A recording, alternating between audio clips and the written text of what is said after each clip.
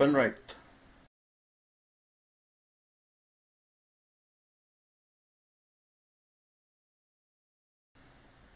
Okay, it's a data recovery system.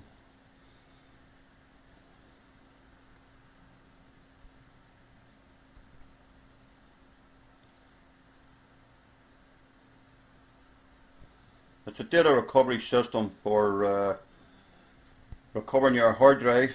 That's a SpinRite. It's running on the computer. Now, before I was able to run this computer, I had a problem.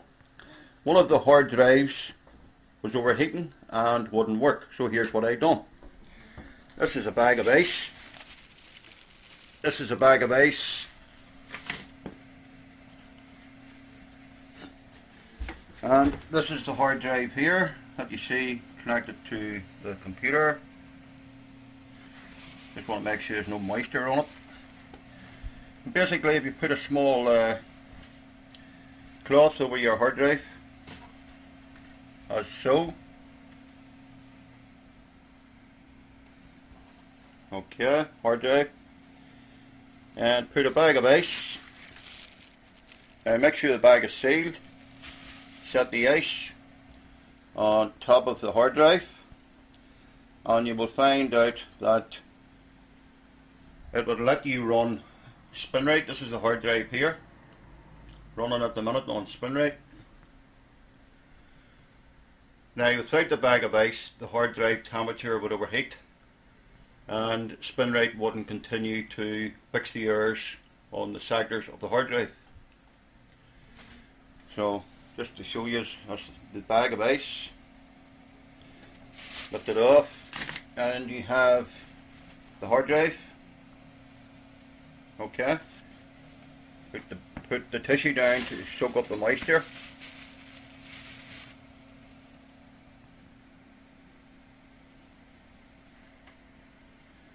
and you have SpinRite here working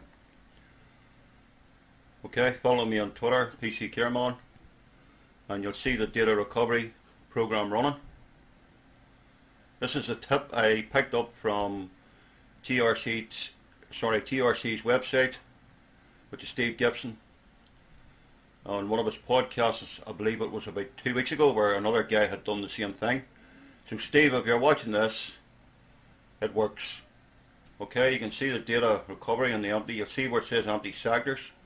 And this is a raw data snapshot. So okay, you have a hard drive. Now the other hard drive that's in the computer is running quite well. But this one here uh, was overheating and SpinRite wouldn't run it because it's a safety device that's built into SpinRite. Remove the block of ice. And just be careful that you don't get and that's a hard drive running there. And you'll see it's running on the thing. That's just reading the data. I'll put the small tissue over it it's better if you actually have a cloth and one bag of ice set it on the top of the hard drive to keep the hard drive from overheating. And bingo, that's it running.